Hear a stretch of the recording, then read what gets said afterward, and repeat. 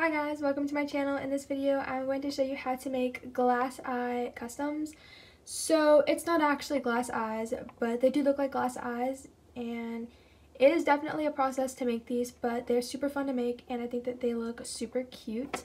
So here are two that I have. I have this Persian cat that is actually on my Etsy for sale right now. She is $20 and her eyes are really pretty. And then I also have this little lizard. This one's eyes have little moons and I think that it is super adorable. Without further ado, let's get started. Here is the custom that I'm using. I also highly recommend using gloves because if the resin gets on your fingers and hardens, it hurts and I learned from experience. So please be super careful if you don't have gloves. We are going to start off by blow drying our custom. This is optional, but it does make the plastic softer and easier to cut.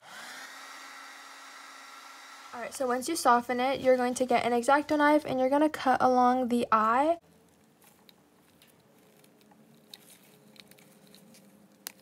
Alright, once that's cut, we're going to start the actual eyes. Now with the doll glass eye molds, I'm going to add some resin. Now I'm going to use a toothpick to even it With a small amount of white paint, I'm going to mix it in. And Now I'm going to cure under the UV light. With a nail file, I'm going to file off the excess resin. Alright, so I'm going to be using this really pretty pink glitter. When I use glitter, I get a little bit of Mod Podge on a brush and I brush the inside of the eyes. So I'm going to use some tweezers to dip the eyes inside. Now I'm going to add a really small drop of resin to the top of the eyes.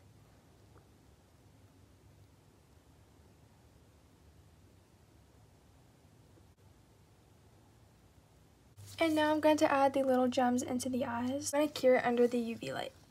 Now we're going to use cotton balls to stuff the pet's head. I just grab pretty big chunks and I use tweezers to push it in.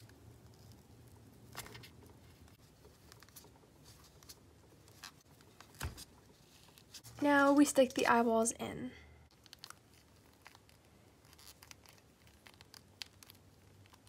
Now once you like how it looks, you're going to get some resin and do a small layer on top of the eyes.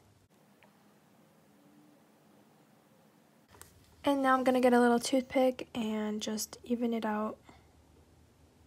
And now I'm going to cure that eye. And then I'm going to move on to the other eye.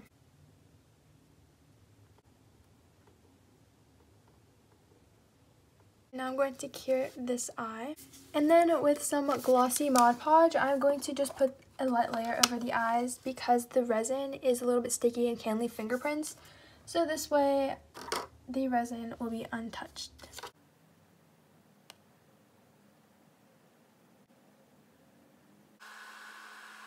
Alright, this is how my little kitty turned out. I think that she looks so cute. If you guys would like to see the finished painted product, please follow my Instagram so you guys can see my custom up. I hope this helped and I hope you enjoyed this video. Bye!